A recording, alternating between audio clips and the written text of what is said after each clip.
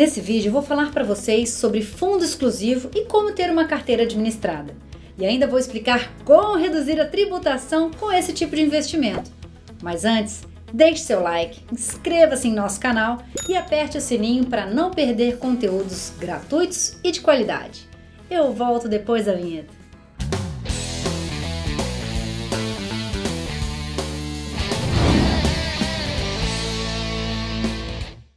O que é um fundo exclusivo? É um tipo de fundo de investimento estruturado apenas para um investidor. Possui as mesmas características de um fundo normal, só que é destinado apenas para um cotista. Como o próprio nome diz, ele é exclusivo. Ele é constituído por um formato de CNPJ e registrado na CVM. Como todo fundo de investimento, ele é apenas constituído por um formato de condomínio coletivo de cotas. Possui um administrador, um gestor, um custodiante, um auditor independente e precisa obedecer a todas as regras de um fundo de investimento. Se você ainda não sabe o que é um fundo de investimento, clique aqui no canto e assista um vídeo completo sobre esse assunto. O fundo exclusivo pode ser aberto ou fechado. No fundo aberto, as aplicações e resgates podem ser feitas a qualquer momento. Possui come cota semestral, exceto para os fundos de ações, e resgates com alíquotas de impostos regressiva conforme o tipo de investimento, que variam ali entre 22,5% e 15%. No fundo fechado, as aplicações podem ser feitas duas vezes ao ano. As amortizações ou resgates podem ser feitos a cada 12 meses e não possui comicotas, que é o pagamento antecipado de imposto de renda na menor alíquota de 15% recolhido pelo governo a cada seis meses. Agora eu vou falar para vocês das inúmeras vantagens de ter um fundo exclusivo. A primeira delas é a gestão de investimentos, ou seja, a diversificação. No fundo exclusivo, você personaliza a alocação dos seus ativos de acordo com a característica do investidor. O cliente tem total controle e transparência quanto à operação do fundo e pode participar ativamente da sua gestão, podendo até customizar os seus relatórios. Geralmente são fundos multimercados, nem sempre estão associados a risco, tá, pessoal? E sim pela flexibilidade de alocação. Através do fundo, você pode investir diretamente em ativos internacionais, por exemplo, diversificando também moedas, sempre respeitando as regras da CVM, obviamente. Uma outra vantagem é a tributária, isento de imposto de renda pelas movimentações internas do fundo. No caso do fundo fechado, não há incidência de comicotas, pois como não há resgate de cotas, não há comicotas. Para ilustrar melhor, eu vou trazer em números o que essa ausência de comicotas pode representar. Imagine que o investidor tenha aplicado em um fundo exclusivo o valor de 10 milhões de reais, rendendo a 11% ao ano durante 10 anos. Ao final desse período, esse investidor possui uma diferença de 1 milhão e 200 mil a mais comparando com um fundo de investimento normal que possui comicotas. Ainda com relação à tributação, no fundo exclusivo você pode ter a compensação de perdas. Por exemplo, se você investe na sua carteira da pessoa física em um CDB que teve um vencimento hoje, você é obrigado a pagar imposto de renda sobre o lucro, certo? Imagine que você tenha perdido um determinado valor em uma operação de compra e venda de ações. Terá pago o imposto de renda do CDB e perdido o valor financeiro na operação de bolsa. Agora, se esses mesmos ativos estiverem dentro de um fundo exclusivo, isso não acontece, pois há compensação de perdas uma vez que a tributação dentro do fundo só vai acontecer na hora do resgate e sobre o resultado líquido das operações. Vamos supor que eu investi 100 mil numa renda fixa e 100 mil em ações. Ganhei 10 mil na renda fixa e perdi 5 mil em ações. Dentro do fundo exclusivo, eu só vou tributar em cima dos 5 mil que foi o resultado líquido da operação. Se tivesse sido na pessoa física, eu tributaria em cima dos 10 mil e ainda teria perdido os 5 mil das ações. Agora vamos falar de blindagem patrimonial. Os fundos exclusivos também servem como uma excelente estratégia de blindagem patrimonial. Como a constituição do formato é de pessoa jurídica, o investidor desvincula seu patrimônio da pessoa física.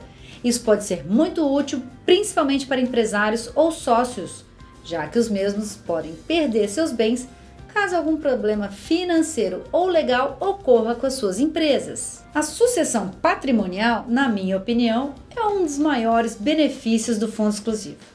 Vamos imaginar que um investidor possui todas as suas aplicações na pessoa física, distribuindo em bancos ou corretoras. Na falta dessa pessoa, aquelas aplicações ficam bloqueadas durante todo o processo de inventário. eventualmente você pode ter alguma alteração de mercado e não conseguir movimentar esses investimentos. Se essas aplicações estivessem em fundo exclusivo, as cotas iriam para inventário, mas os investimentos continuam sendo movimentados pelo gestor, independente da situação atual da cota estar nesse processo de inventário ou não. Outra grande vantagem é dar ao investidor o livre-arbítrio em organizar sua sucessão patrimonial em vida. É muito comum as pessoas doarem imóveis aos filhos com cláusula de usufruto, e na minha ausência já está no nome do meu herdeiro, certo? Quando falamos de ativos financeiros, não podemos doar um determinado valor e gravar usufruto, por exemplo, de um CDB ou um título do tesouro. Agora, se eu reúno todos esses investimentos em um fundo exclusivo e passo a ser cotista dele, eu posso doar para os meus herdeiros com usufruto. E na minha ausência, as cotas não passam por processo de inventário. No momento da doação, grava-se usufruto político e econômico, ou seja, você usufrui dos rendimentos e também será responsável pela tomada de decisão do fundo. Continua assinando as atas, participando das assembleias. Os herdeiros só podem ter direito às cotas do fundo na ausência do cotista. Lembrando que esse contrato de doação pode conter cláusulas de reversibilidade, empenhorabilidade, dentre outros. Outra grande vantagem é a tributação na sucessão patrimonial. No Brasil, o imposto de doação é entre 4% e 8%. Existe uma discussão, inclusive, para aumentar o ITCMD, que é esse imposto sobre herança. Se esse imposto aumentar, não tem como escapar. E olha que em outros países esse imposto pode chegar a 40% ou até 60%, como na França, por exemplo. Por isso, muitas famílias estão me procurando para organizar o seu processo de sucessão patrimonial e aproveitar a alíquota de tributação vigente. Às vezes, o patriarca não quer fazer essa doação agora, mas quer evitar esse aumento de imposto ou custos com inventário, que é bem pior. Uma desvantagem do fundo exclusivo são os custos. Quando os fundos são criados, eles precisam respeitar todas as exigências das leis do regulador, que são registro na CVM, auditoria independente, ter um custodiante que nada mais é que um banco onde os recursos estarão custodiados, ter um administrador e um gestor, sendo que esses dois últimos devem ser registrados na CVM. Todos esses são custos fixos. Existem os custos regulatórios também, que são taxa da Ambima e taxa da CVM. Em números, para um fundo exclusivo com patrimônio de 10 milhões, você terá um custo mais ou menos ali em torno de 30 mil reais por ano, mais 0,5% de taxa de administração. Porém, isso tudo é compensável pela isenção tributária. Então não é bem uma desvantagem, e sim um ponto muito importante a ser dito sobre os fundos exclusivos. Por isso, geralmente se faz um fundo exclusivo para investidores com patrimônio acima de 10 milhões. Se você tem esse patrimônio, não faz sentido não ter um fundo exclusivo. Caso queira montar uma estrutura de um fundo com mais pessoas para atingir o patrimônio de 10 milhões, existe o fundo restrito. Ele possui as mesmas características de um fundo exclusivo, porém é restrito a um grupo de pessoas, até 20 pessoas, tá? Que podem ser membros de uma mesma família, de uma empresa ou amigos. Então, se você tem um fundo exclusivo e deseja obter uma segunda opinião, mande para mim o CNPJ do seu fundo. Agora, se você já tem um patrimônio elevado e ainda não tem um fundo exclusivo, eu vou deixar aqui os meus contatos para que eu possa te orientar. Agora, eu vou falar para vocês como funciona a carteira administrada.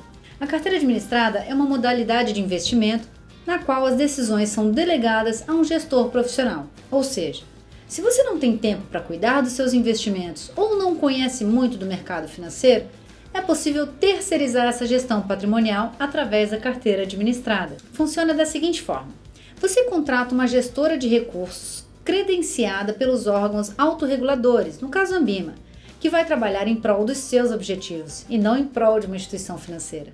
O profissional se reúne com você para entender seus objetivos, perfil e prazo. Tudo isso fica formalizado em um documento chamado Política de Investimentos. Em seguida, uma conta é aberta para você em uma corretora de valores, onde terá acesso a todas as opções de investimentos disponíveis no mercado financeiro. Desta forma, a transferência de recursos só pode ser feita entre mesma titularidade. A equipe de gestão monta uma carteira recomendada respeitando o seu perfil e objetivos, conforme pactuado lá na política de investimentos.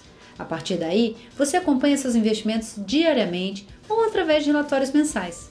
Essa carteira administrada ela é regulada pela CVM e o seu dinheiro é cuidado por especialistas que precisam ter autorização da CVM para atuar nessa modalidade. Existem muitas vantagens ao optar por uma carteira administrada, mas as principais delas são personalização dos investimentos para adequar o perfil de cada investidor, regras de liquidez personalizada e o contato direto com o gestor.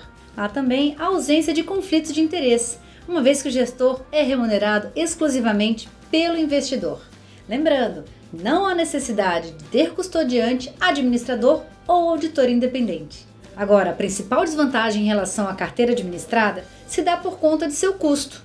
É necessário pagar uma taxa de administração ao gestor. Ela pode variar entre 0,5% e até 2%.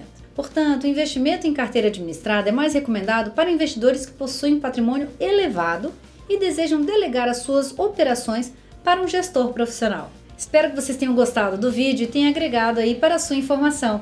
Se precisar da nossa ajuda com seus investimentos, aqui embaixo na descrição do vídeo tem o link para falar direto com um assessor da EQI Investimentos. Bons negócios para você e até o próximo vídeo!